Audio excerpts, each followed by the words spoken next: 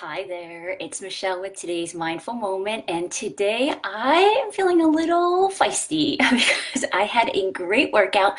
By the way, AKT on demand, if you guys are looking for something to do at home at any hour, I highly recommend it.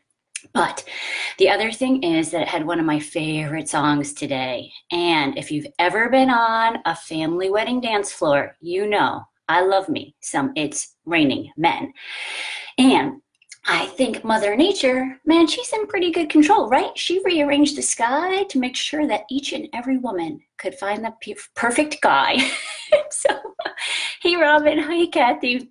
So, I wanted to talk to you a little about um, being in control. Now, I think some of you ladies, and probably if any guys are watching, know what I'm talking about. We think that life should be a certain way. And I know I'm in the boat with you. I think that we all know how everything else should be in life.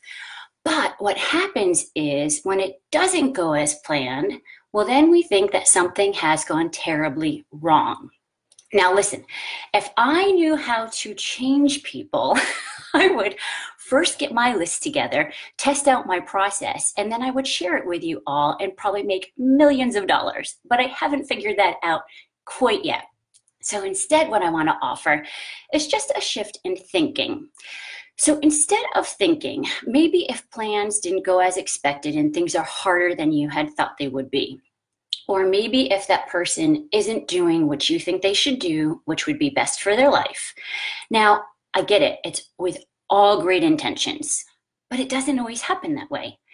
So instead of fighting with reality and what is actually going on, what if you considered this was maybe their journey in life? Like, this is the deck of cards that they've been dealt, and they'll figure it out. Like, what if life isn't supposed to always be great? And you know what? You know how I know it's not? Because it's not always great. There are terrible things that happen in this world. And when we can start to accept that and start to show up a little bit differently. Like, consider this what if something didn't go as planned and there's something that you're facing in life that's harder than you expected? And instead of fighting with that and thinking it shouldn't be this hard, it shouldn't be this hard, you just thought, like, I'm a badass. I got this. I've done hard things in life. Because I'm telling you, if you can release the fighting with what should be and accept what is, you will feel so much better. All right, I hope you all have a fabulous week. And I spared you. I didn't sing that song, but maybe it's going to be in your ear all day.